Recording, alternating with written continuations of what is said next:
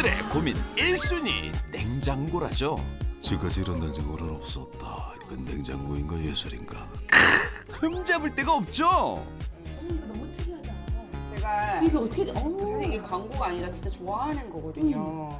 이게 반찬통이 반찬통을 어 여기다가 계단식으로 되어 있어서 아 진짜 너무 편해요. 너무 편하다. 이거 이렇게 네. 하나씩 해서 여기는 김치 종류를 이렇게 딱 네. 담아놨네요. 저는 이거 하나 이거 하나 하나는 우리 집에 있는데 이게 이렇게 나오는 줄은 몰랐어요. 네, 이게 있어요. 이런 저도 근래에 찾았어요. 음. 그래서 근데 너무 편해서 사실 이 김치통을 만약에 이게 예를 들면 아이디어다. 사- 이게 똑같잖아요 어. 사이즈가 그럼 이렇게 올려놓게 예, 되잖아요. 올려놓게 되잖아요. 예. 그러면은 사실 이것도 완벽하다고 보거든요. 이렇게. 사이, 사이즈를 네. 통일시키면 어머 이 집에 없는 게 딱 한 가지가 있네.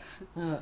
까만 봉다리가 없어요. 까만 비닐봉지가 없습니다. 네, 보통은 이런 반찬 재료나 야채는 네. 다 까만 비닐봉지에 넣었는데 그게 없어요. 음.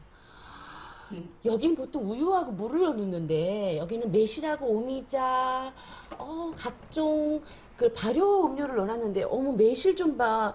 이렇게 담아놓으니까 먹고 싶잖아요.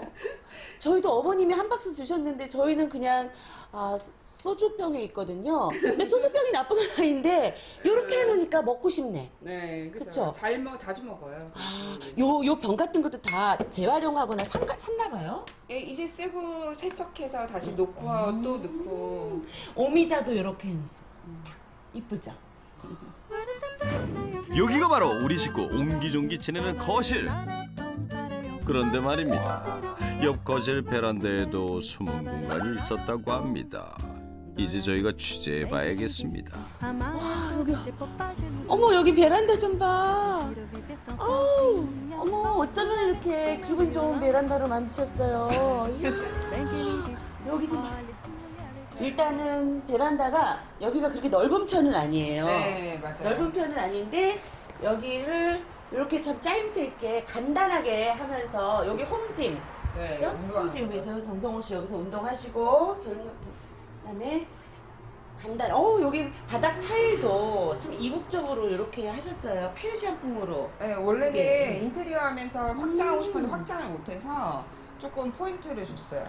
보통 여기다가 짐을 수납을 하는데 베란다에 네. 베란다에 짐을 수납 안 하고 이렇게 그냥 간단하게 해놨네요. 아, 여기가 음. 실제로 여기는 이거 저희가 만들어 넣은 거예요. 음, 음. 여기가 복도가 뚫려 있었어요. 아 그래요? 네, 그래서 오. 수납 공간이 너무 없어서 어. 벽을 만들어서 수납장을 아 만들었거든요. 이게 뚫린 네. 거를. 그래서 생필품 그 재고 정리를 이쪽으로 음. 하고 있어요.